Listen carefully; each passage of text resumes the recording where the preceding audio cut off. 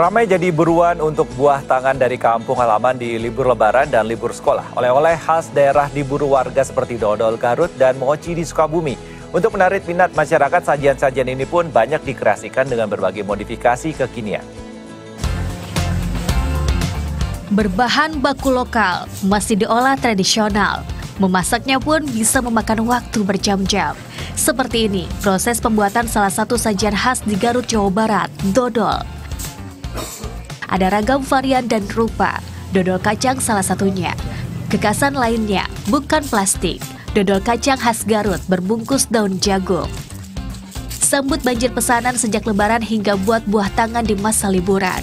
Rumah produksi dodol kacang di Kampung Serut, Banyuresmi, Garut telah mempersiapkan.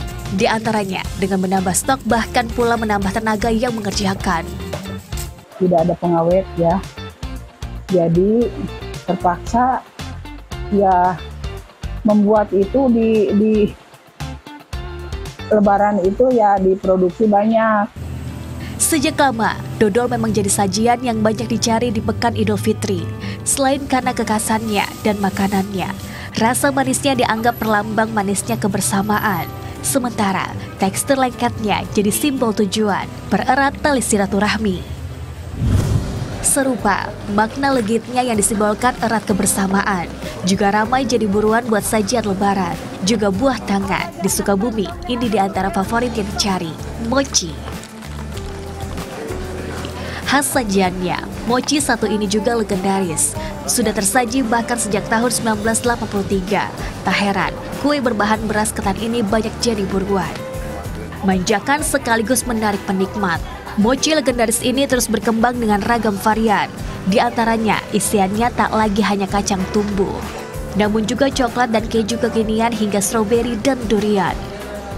Kebetulan dia ada acara keluarga di Sukabumi, saya dari Bandung, jadi tahunya ini yang terkenal, jadi makanya sekali ke sini bakal oleh juga. Kalau saya suka yang green tea, kalau suami suka yang original sama durian ya.